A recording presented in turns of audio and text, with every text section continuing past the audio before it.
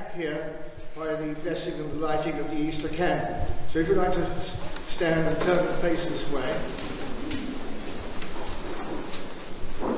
This normally takes place at the Easter Vigil, which we held on Saturday evening, but we decided not to do that this year. So we're doing this essential part of it, the blessing of the Easter candle. Now, I hope this will provide a taster of what we do on Saturday evening normally Easter time, and perhaps we shall see some of you, if we have an Easter vigil next year, coming along to see the full thing in all its glory. Dear friends in Christ, on this most holy morning, when our Lord Jesus Christ passed from death to life, the Church invites her children throughout the world to come together in, a, in vigil and prayer.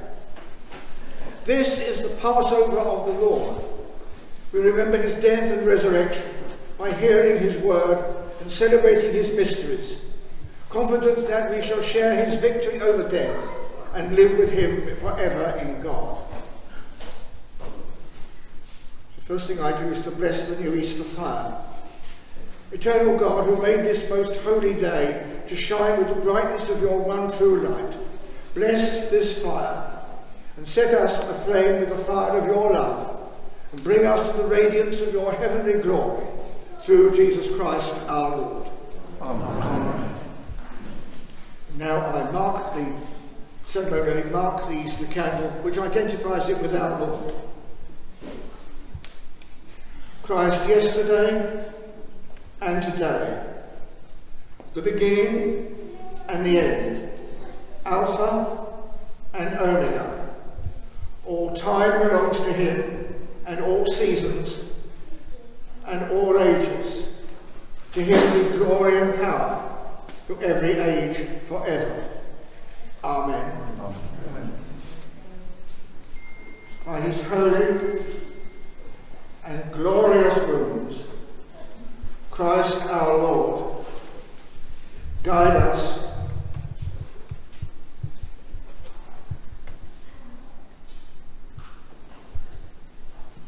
and preserve us.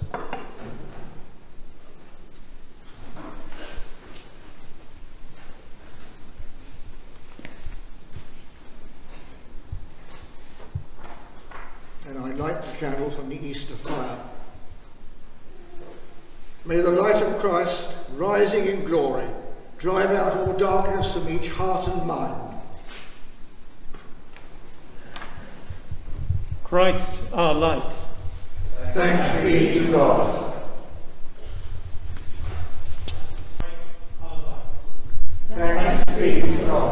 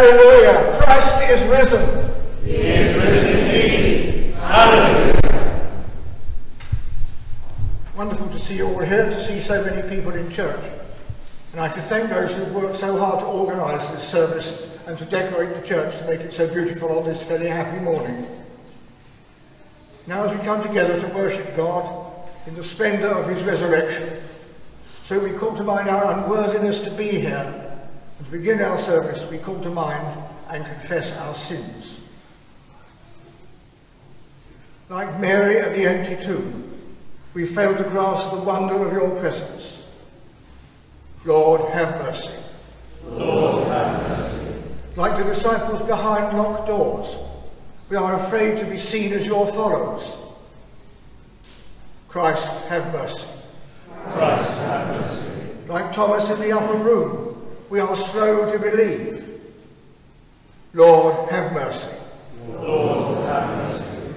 May the God of love and power forgive you and free you from your sins, heal and strengthen you by his Spirit, and raise you to new life in Christ our Lord. Amen. And we say the Gloria. Glory to God in the highest, and peace to his people on earth. Lord God, heavenly King, almighty God and Father, we worship you, we give you thanks, we praise you for your glory. Lord Jesus Christ, only Son of the Father, Lord God, Lamb of God, you take away the sin of the world, have mercy on us. You are seated at the right hand of the Father. Receive our prayer. For you alone are the Holy One. You alone are the Lord. You alone are the Most High, Jesus Christ, with the Holy Spirit, in the glory of God the Father. Amen. Let us pray. Lord of all life and power, who through the mighty resurrection of your Son overcame the old order of sin and death to make all things new in him, grant that we, being dead to sin and alive to you in Jesus Christ, may reign with him in glory, to whom with you and the Holy Spirit be praise and honour, glory and might, now and in all eternity.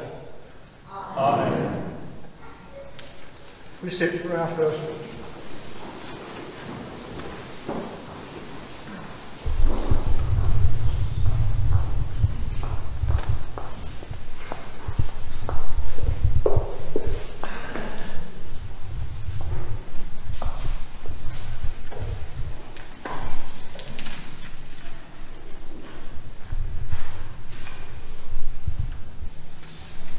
A reading from the Acts of the Apostles. Peter c- began to speak to those assembled in the house of Cornelius. I truly understand that God shows no partiality, but in every nation, everyone who fears him and does what is right is acceptable to him. You know the message he sent to the people of Israel, preaching peace by Jesus Christ. He is Lord of all. That message spread throughout Judea, beginning in Galilee after the baptism that John announced, how God anointed Jesus of Nazareth with the Holy Spirit and with power. How he went about doing good and healing all who were oppressed by the devil, for God was with him. We are witnesses to all that he did, both in Judea and in Jerusalem. They put him to death by hanging him on a tree, but God raised him on the third day and allowed him to appear, not to all the people, but to us who were chosen by God as witnesses, and who ate and drank with him after he rose from the dead. He commanded us to preach to the people and to testify that he is the one ordained by God as judge of the living and the dead. All the prophets testify about him that everyone who believes in him receives forgiveness of sins through his name. This is the word of the Lord. Thanks be to God.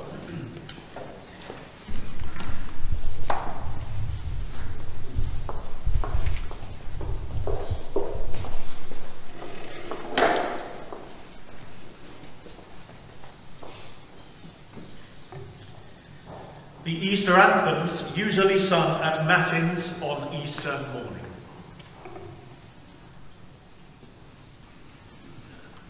Christ our Passover is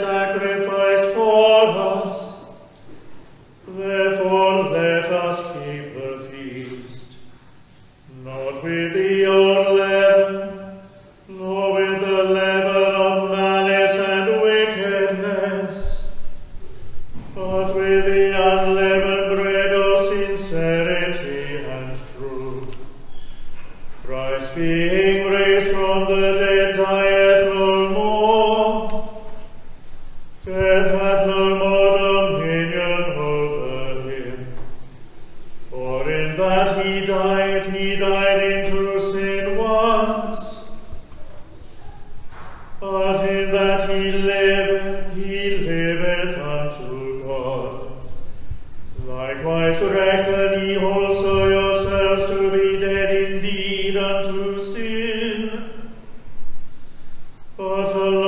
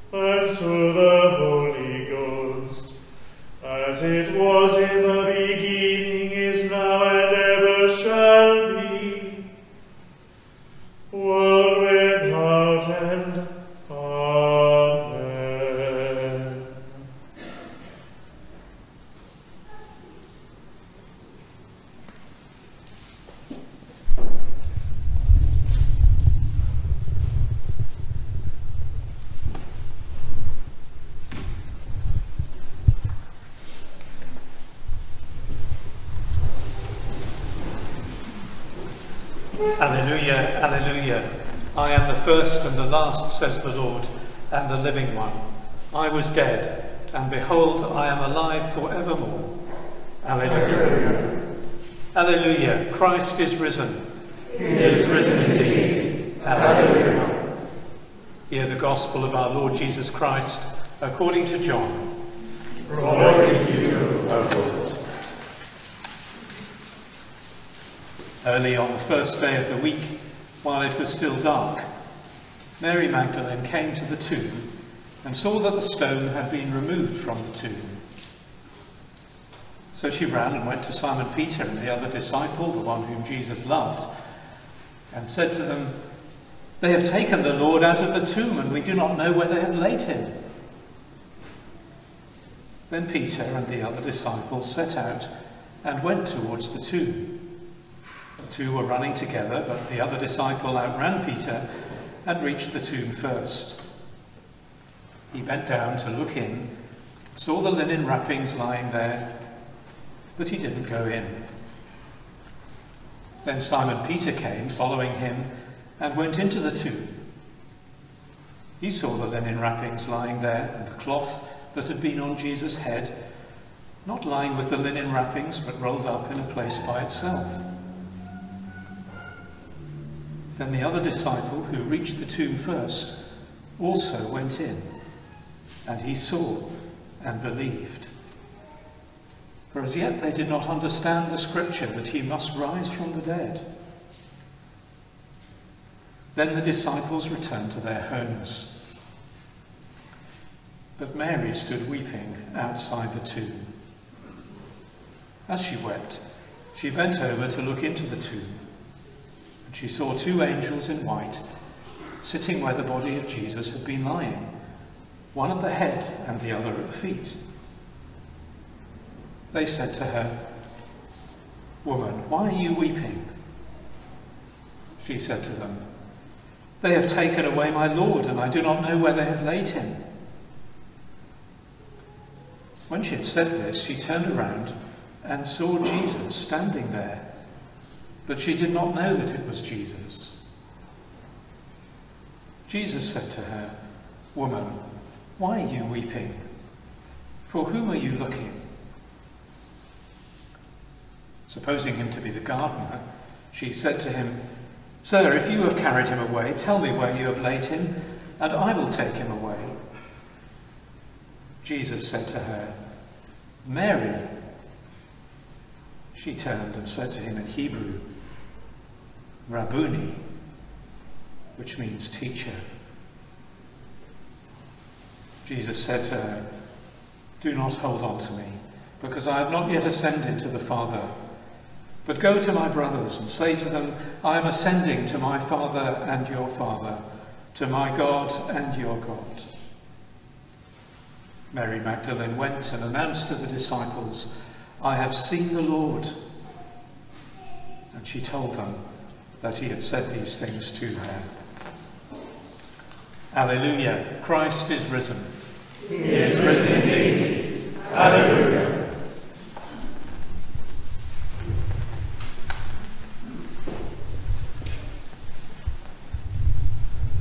In the name of the Father, and of the Son, and of the Holy Spirit. Amen.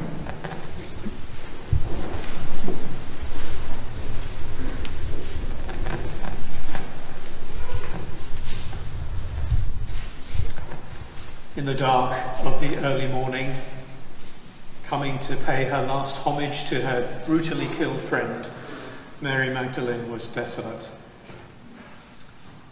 That grief and trauma were compounded when she found that her friend's body was no longer there. Straight away, she ran to Jesus' closest male friends, Peter and the other to whom he was especially close, quite possibly John, the Gospel writer himself. And as men do, they came to investigate. But again, like some men, they didn't really help. John, who believed when he saw the empty grave clothes, kept that belief to himself.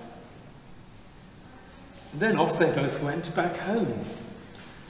No doubt for good reason, fearing still for their own lives because of their association with Jesus. But leaving Mary distraught and perplexed, not offering her any answers or even the solidarity of their company. But it was then, as she stayed there weeping, that she first saw the angels sitting in the tomb, and heard them ask that strange question, Why are you weeping? And then as she turned around, she saw the stranger who asked her the very same question. And after she'd blurted out her answer, Sir, if you've carried him away, tell me where you've laid him, and I'll take him away, I'll look after him. She hears him speak her name, Mary. Through her tears, she recognizes him and utters in wonderment the word teacher and grabs hold of him. So she's the first to hear the risen Jesus explain what has happened. Don't hold on to me because I haven't yet ascended to my Father, but go to my brothers and say to them that I'm ascending to my Father and your Father, to my God and your God. He hadn't simply come back to life, he was entering a new kind of life in the presence of his Father. And as he did so, he was enabling his friends to share that too. And so she goes off to tell the others. She is the first true apostle, the first witness of the risen Lord, the one who stayed by the tomb weeping long enough to meet him. And not very long after, we find Peter and the other apostles as public figures, boldly proclaiming to both Jews and Gentiles, often in the teeth of opposition, that Jesus was risen from the dead, that God's purposes have come to fulfillment in him. He is the one whom God has said will judge living and dead, and above all, the one through whom people now can discover forgiveness release from the enslaving bonds of sin's power. We heard one of those early proclamations in our first reading. So, despite the fact that Jesus was no longer to be seen except in brief visits for those 40 days, they were convinced not just that Christ was risen, but that his rising changed everything. And that because he was risen, they were risen too. But the discovery wasn't easy or obvious. As we heard in the Gospel story, the meaning of the empty tomb wasn't immediately apparent to any of them. Indeed, it would take weeks of patient teaching from the risen Lord for it to start to sink in. And surely the trauma of losing Jesus to such a shocking and painful death didn't disappear overnight. Christ is risen. That is the faith of the church that we proclaim publicly, week by week. But it's good to be honest with ourselves about the fact that sometimes it's a struggle to believe.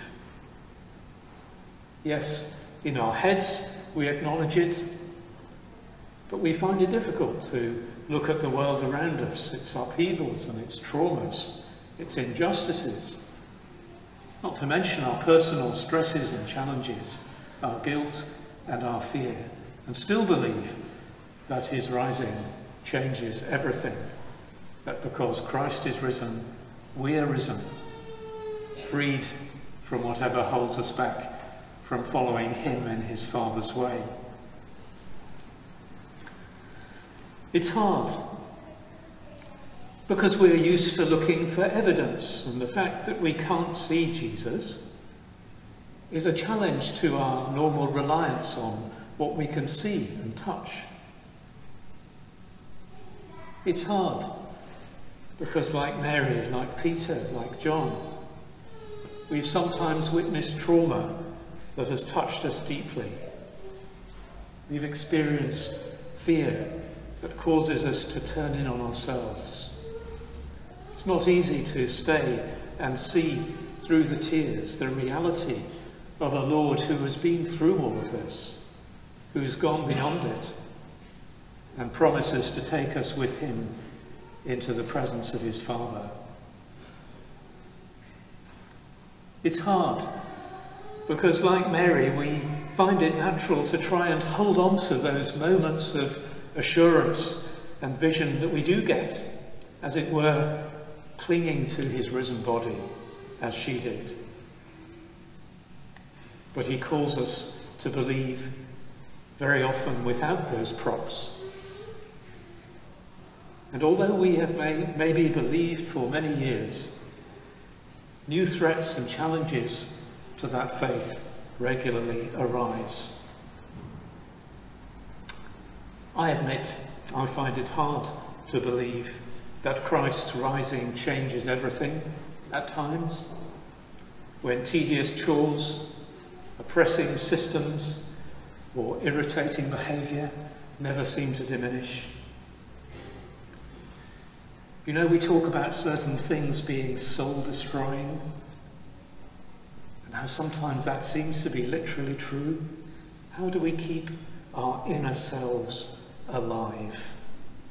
How do we resist the pressures to conform with those habits that we know Jesus would have shunned, that are dehumanizing? How do we resist those pressures to compete in battles for recognition and prestige? that he dismissed as not worth fighting.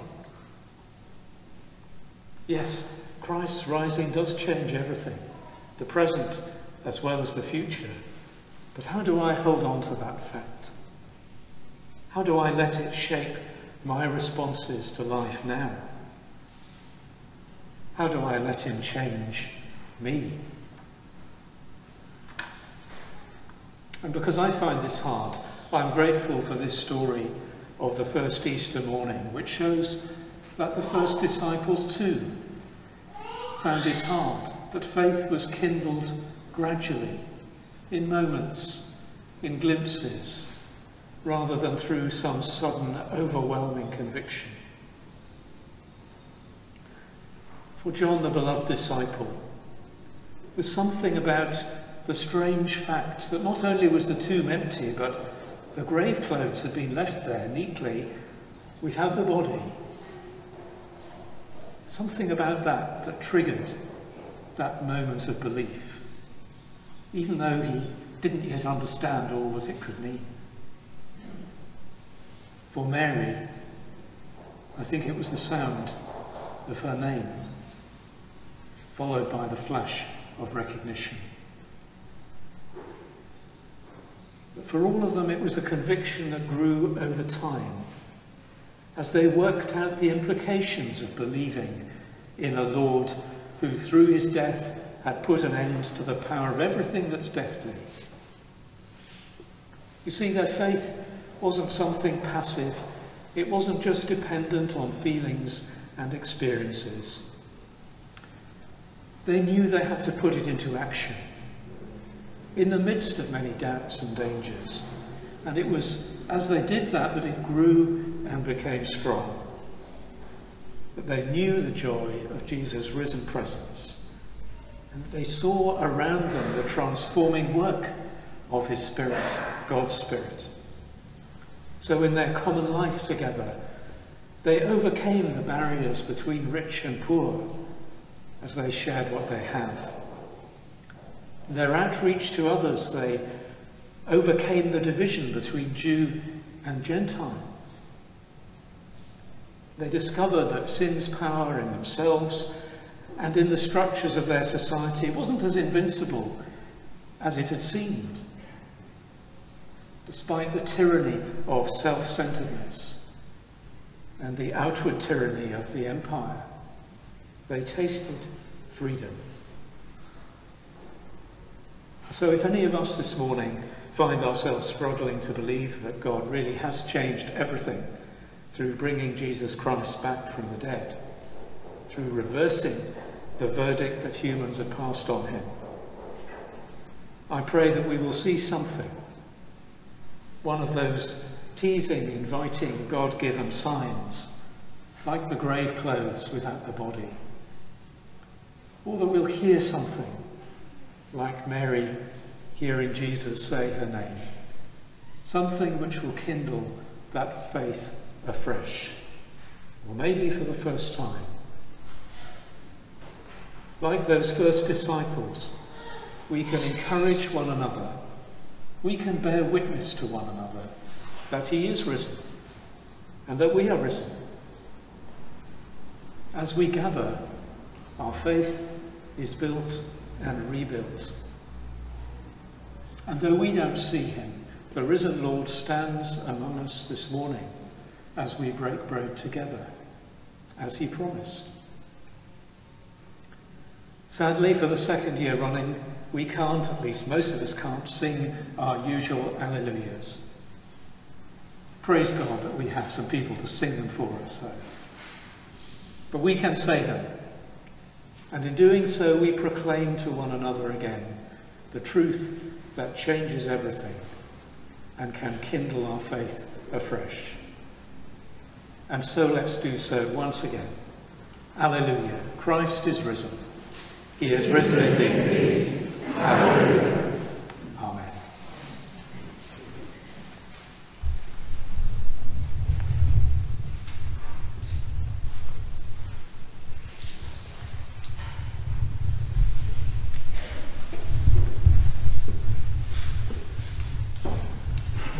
stand and affirm our faith in God, Father, Son, and Holy Spirit.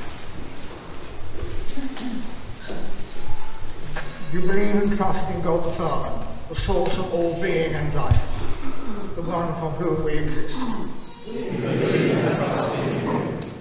Do you believe and trust in God the Son, who took our human nature, died for us, and rose again?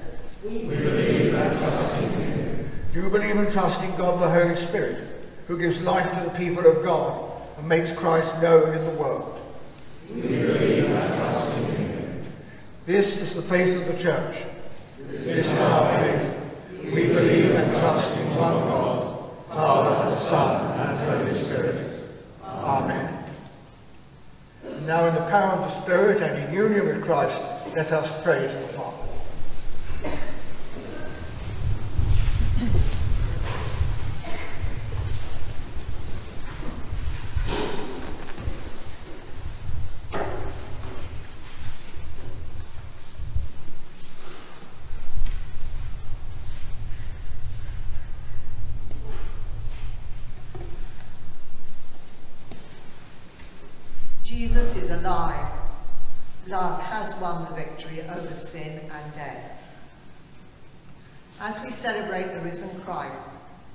Pray to the God of life, in whom we live. We pray for Christians throughout the world, who like us today are celebrating the joy and hope of Easter. For the Anglican Communion, Justin our Archbishop, Christopher our Bishop, and Jonathan, Bishop of Croydon. Trusting in the power of Christ's resurrection, we pray that the Church of God may be bursting with new life, filled with the love that takes even death in its stride, that new and mature Christians together, all in their various ministries, may work in God's strength for the coming kingdom. Lord, hear us. Lord, hear us. Surrounded as we are by the beauty of spring blossom and bulbs, May we be reminded of our part in stewarding Earth's resources, that this beauty may be enjoyed by future generations. We pray that the inhabitants of our planet may recognize God's glory all around, cooperate in the sharing of his gifts, and cultivate the habit of caring love. Lord, hear us. Lord, graciously hear us. We give thanks for our families and friends who have shown love and care during the past year, rejoicing that our church family is able to be together today. We pray that God will bless our homes and families, our places of work and leisure, with new life and the hope of new possibilities, touching the ordinary with beauty and joy. Lord, hear us. Lord. Pray for all those who are not able to be with us in church today, and give thanks for the technology which allows them to join us online, and for those who have made this possible. We remember those who have asked for our prayers, and especially Tanner Grimner, Margaret Rapp, Robin Sullivan, and Jonathan Apin. We pray for all those who feel trapped or imprisoned, physically, mentally, or spiritually. May the stones roll away and new light pour into their lives. Lord, hear us. Lord, graciously hear us. We pray for those whom we love but see no longer, the recently departed, Peter Bryce, John Ferguson, and Arthur Bass and for those whose anniversaries fall at this time.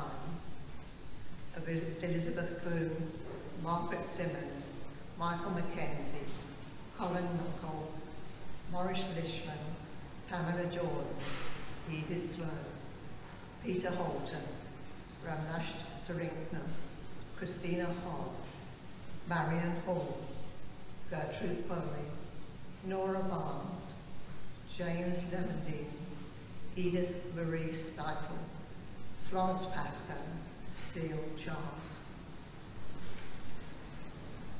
We praise that those who have died to this earthly life may find the fullness of God's eternity, flooded with the light of his love. Lord, hear us. Lord, graciously hear us. We pray that we may live each moment thankfully assured of God's company and mercy, and in the joy and hope of the resurrection. Merciful Father, accept these prayers for the sake of your Son and our Saviour, Jesus Christ. Amen.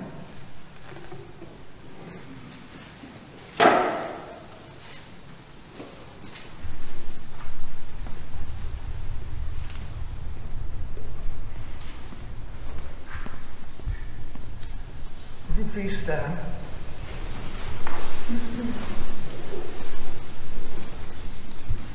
The risen Christ came and stood among his disciples and said, Peace be with you. Then were they glad when they saw the Lord. Alleluia. The peace of the risen Christ be always with you.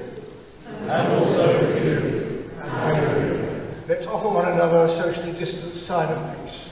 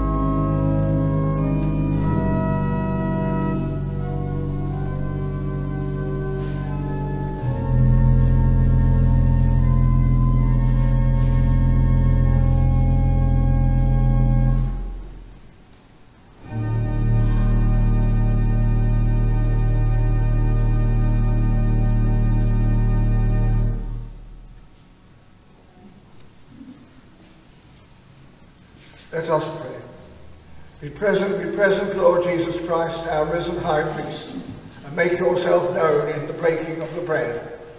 Amen. Amen. The Lord be with you. And also with you. Lift up your hearts. We lift them to the Lord. Let us give thanks to the Lord our God.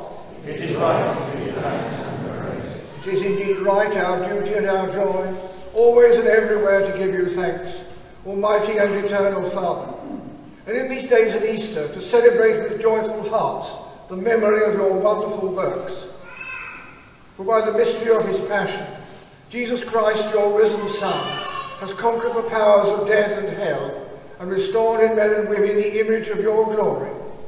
He has placed them once more in paradise, and opened to them the gate of life eternal. And so, in the joy of this Passover, earth and heaven resound with gladness, while angels and archangels and the powers of all creation sing forever a hymn of your glory. Holy, holy, holy Lord, God of power and might, heaven and earth are full of your glory. Hosanna in the highest. Blessed is he who comes in the name of the Lord. Hosanna in the highest. We praise and bless you, loving Father, through Jesus Christ our Lord. And as we obey his command, send your Holy Spirit, that broken bread and wine outpoured may be for us the body and blood of your dear Son. On the night before he died, he had supper with his friends. And taking bread, he praised. He broke the bread, gave it to them, and said, Take, eat. This is my body, which is given for you. Do this in remembrance of me.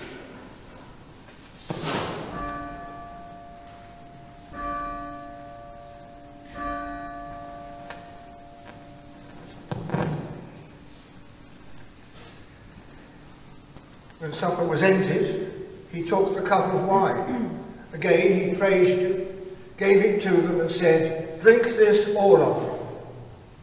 This is my blood of the new covenant, which is shed for you and for many for the forgiveness of sins. Do this as often as you drink it, in remembrance of me.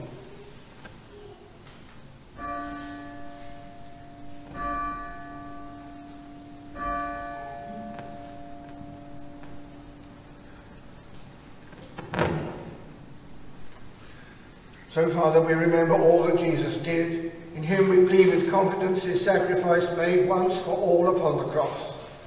Bringing before you the bread of life and cup of salvation, we proclaim his death and resurrection until he comes in glory. Jesus Christ is Lord. Lord, by your cross and resurrection, you have set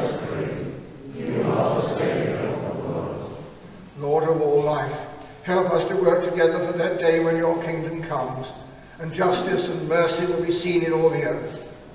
Look with favour on your people, gather us in your loving arms, and bring us with Mary, Mother of God, John the Divine, our patron, and all the saints, to feast at your table in heaven. Through Christ, and with Christ, and in Christ, in the unity of the Holy Spirit, all honour and glory are yours, O loving Father, for ever and ever. Amen.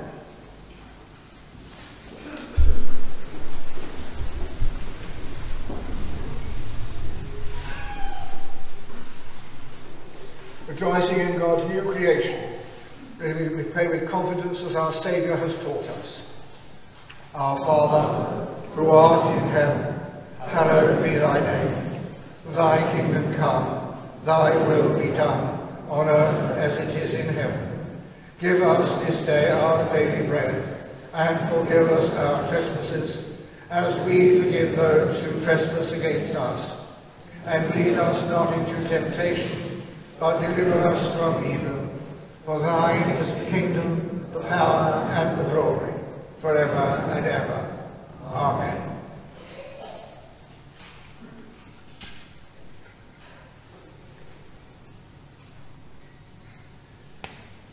Jesus says, I am the bread of life. Whoever eats this bread will live forever. Lord, our hearts hunger for you. Give us this bread always.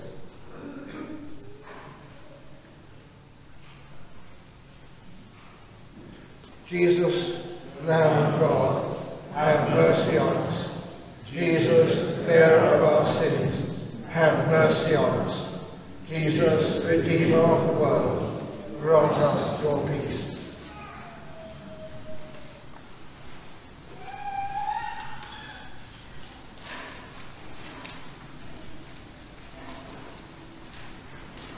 Come to this table, not because you must, but because you may, not because you are strong, but because you are weak. Come not for any goodness of your own gives you the right to. Come because you need mercy and help.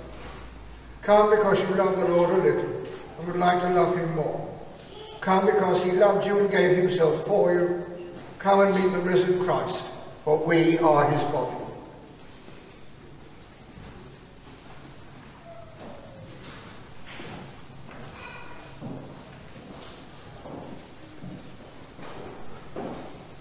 Alleluia, Christ our Passover is sacrificed for us. Therefore let us keep the feast. Alleluia.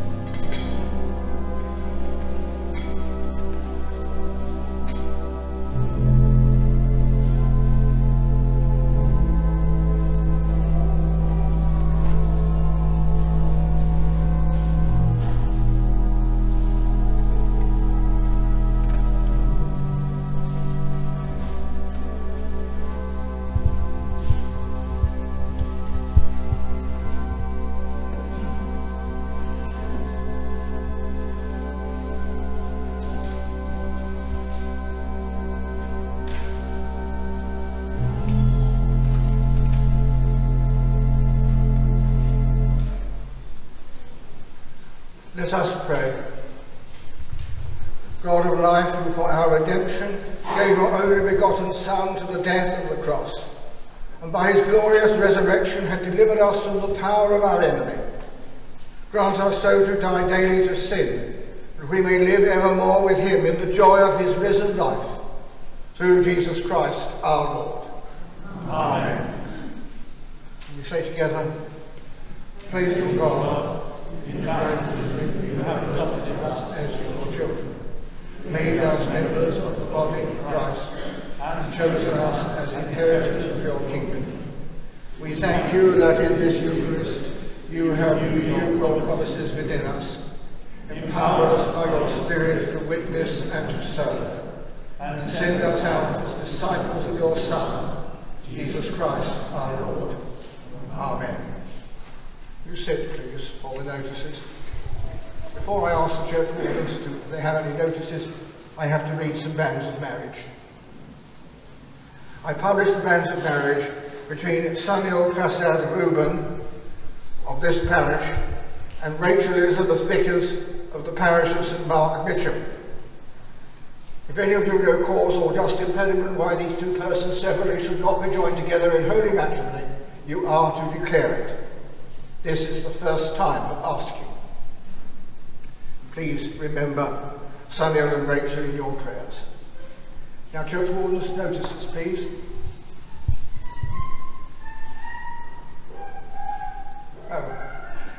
Debbie is signaling that she hasn't got any notices.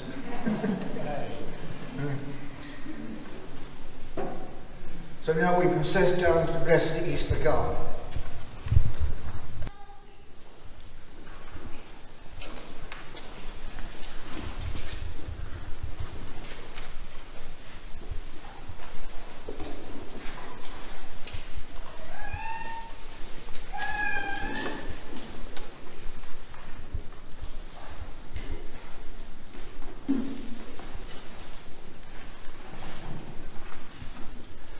Blessed are you, Lord God of all creation, the Father of our Lord Jesus Christ. To you be glory now and forever. In your great mercy you have given us a new birth into a living hope through the resurrection of Jesus Christ from the dead. By your blessing,